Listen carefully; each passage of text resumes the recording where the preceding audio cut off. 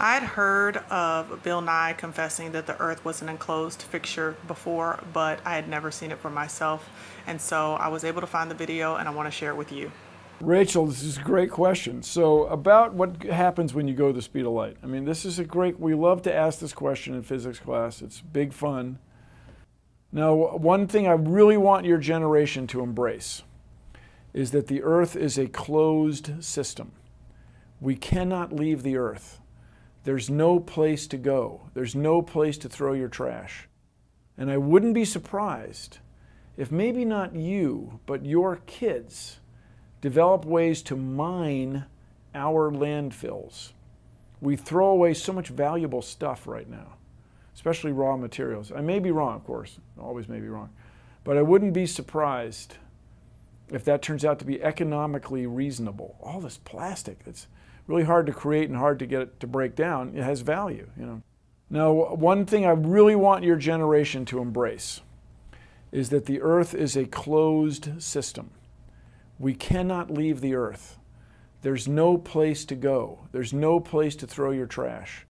Now, if you'll notice in the video, he tries to cover up what he said by talking about not throwing your trash in landfills and tries to make it an issue about global warming or climate change or something along those lines. But he clearly, clearly told on himself and told the truth that all of them know is that the earth truly is an enclosed fixture.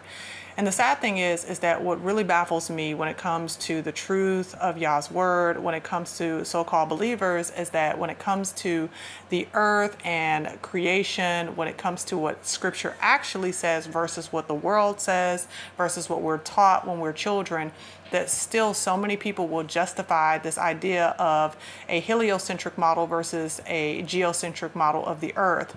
They justify it. I don't understand how they say the science adds up, but if the science falsely called science is in, a, in, in disagreement with what the scripture says, then it would be wise to go with what the scripture actually says beyond what your science teacher told you.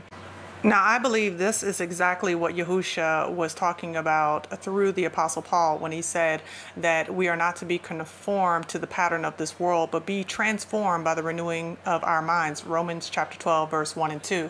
Why? Because the pattern of this world tells us the opposite of what Yah's word says concerning his creation, concerning his people, concerning who he is, concerning truth and righteousness. It tells us the exact opposite, but Yah's word tells us exactly what the truth is. And he says, You shall know the truth, and the truth shall make you free.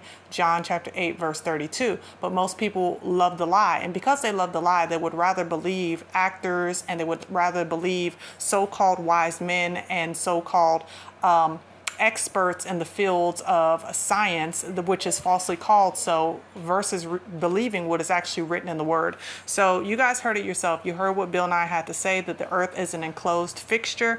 Let me know what you think in the comment section below with what he said. Was it a slip of the tongue, uh, or was it just something that we took